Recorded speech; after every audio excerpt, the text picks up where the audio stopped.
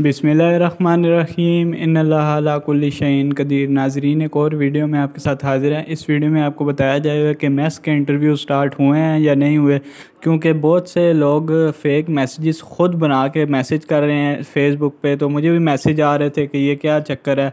आपने सिंपल कुछ नहीं करना। आपने गूगल पे चले जाना है। वहाँ पे आके आपने इनकी वेबसाइट सर्च करनी है, क्योंकि जो भी रियल न्यूज़ होगी, वो सबसे पहले वेबसाइट पे आएगी। ये देखें, इनकी वेबसाइट खुल गई है। आपने सिर्फ़ वेबसाइट को फॉलो करना है।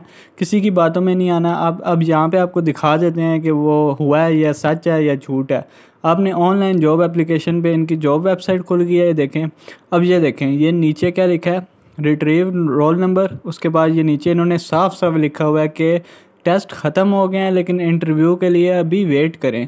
रिट्रीव रोल नंबर पे अगर हम क्लिक करते हैं तो यहाँ से हम रोल नंबर डाउनलोड कर सकते हैं। अपना इंटरव्यू स्लिप नहीं डाउनलोड होती, क्योंकि ऑप्शन ही नहीं आ रहा। ये देखें, ये रोल नंबर डाउनलोड करने वाली स्लिप है।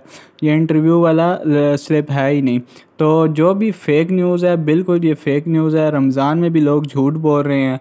आपको क्या होगा, आप सिलेक्ट होंगे तो आपको नंबर पे मैसेज आएगा। अगर, और अगर आपको मैसेज नहीं आता तो समझिए आप सिलेक्ट नहीं हुए। तो ये है कि आपको इंटरव्यू का मैसेज आपके मोबाइल पे लाजमी आएगा। अगर आप सिलेक्ट होंगे तो फेक न्यूज़ से आप बचें।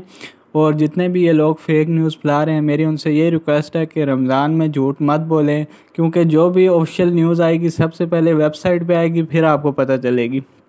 तो ये एक छोटी सी वीडियो थी कि अभी कोई मैसेज आना स्टार्ट नहीं हो इन ईद के बाद सुनने में आ रहा है कि ईद के बाद इंटरव्यू नैप कासिद वगैरह के स्टार्ट हो रहे हैं।